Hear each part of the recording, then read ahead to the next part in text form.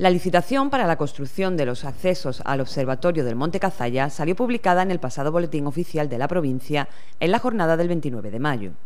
Es el Instituto de Empleo y Desarrollo Tecnológico de la Diputación Provincial el organismo que saca concurso estas obras para poner en uso el edificio. Hemos trabajado mucho nos hemos encontrado en los peores tiempos con los menores recursos que nunca y hemos sido capaces, tanto el Ayuntamiento como la Diputación, que es la que promociona este proyecto, de dar este paso adelante definitivo para dotar de los suministros y de los accesos a este equipamiento y para ponerlo en marcha. Se cuenta con un presupuesto total de 513.188 euros, de los cuales el 80% provienen de los fondos europeos FEDER.